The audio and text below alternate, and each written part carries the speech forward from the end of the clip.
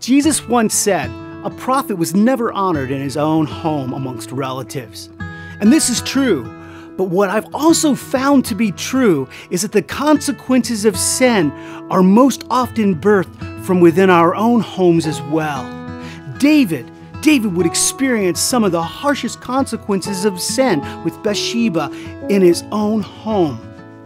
Not only did he lose his child from Bathsheba, but through the prophet Nathan, the Lord foretold him, Behold, I will raise up an adversary against you from your own house. In 2 Samuel chapter 15 is the fruition of that prophecy. David forgives his son Absalom for killing his other son Amnon, but forgiveness did not quench Absalom's hunger for his dad's throne. Here, Absalom begins to plot against his father. Absalom starts to draw attention to his own name and plants himself outside the city gates early every day ingratiating himself to all who would come to see the king, all from all over Israel. In true politician form, he would tell them, Look, your case is good. Your case is right, but, but there is no deputy of the king to hear you right now. Moreover, Absalom would tell them, Oh, that I were made judge of the land. And everyone who has any suit would come to me with their cause. And you know what? I would give them justice. Well, let's fast forward many years, and Absalom would move his headquarters away from Jerusalem to Hebron, where he would start his rebellion and a major assault to take the throne. Absalom wins over David's counsel Ahithophel, as with many others from Jerusalem, and readies himself to fight for the throne.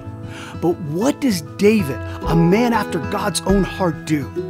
He ascended the Mount of Olives, worships and prays to the Lord, and then chooses to leave Jerusalem so that all who dwelled there would not be in jeopardy. Oh, the rich foreshadowing of David's descendant, King Jesus, and how he can be seen here. Only Jesus would suffer the consequences of our sin, not his own like David the wicked would plot against him as well. And where do we find Jesus? Right before the great battle of Calvary, on the Mount of Olives, praying for strength. And instead of praying for the Lord to thwart his enemies' counsel as David did, Jesus prays God's will be done.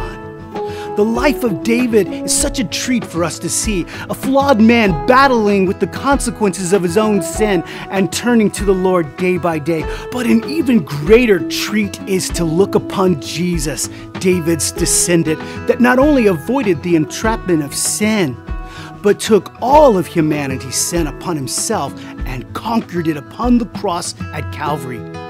You are greatly loved, so go and greatly love.